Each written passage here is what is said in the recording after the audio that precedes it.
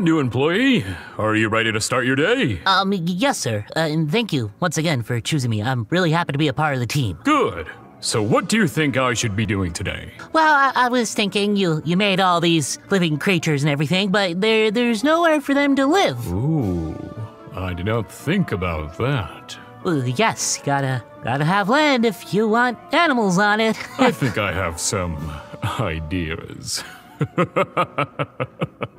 oh no.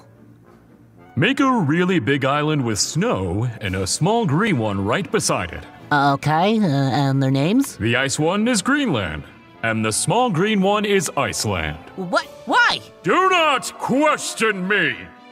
Take a large piece of land, Got it. make it larger than every other country. Um, guessing it's going to have the largest population then, right? Make only 50% of it inhabited. But- I'm not done yet.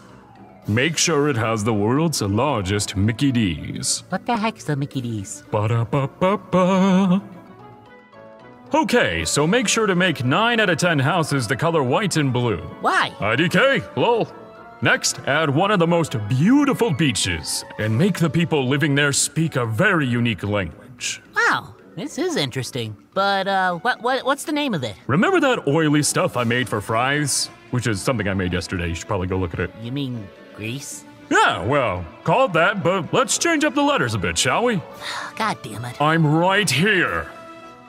Okay, take some land, Yeah, make it out of ice. but then it will be too cold. Remember the tuxedo birds? Oh, great. Have them rule the land.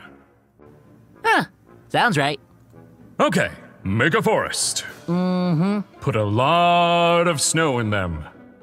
Any people? Barely, and make them speak an impossible language. The fuck? Now scatter 200,000 lakes all over it. We're gonna run out of stock on those! And make nobody realize it exists. All of this for fucking nothing!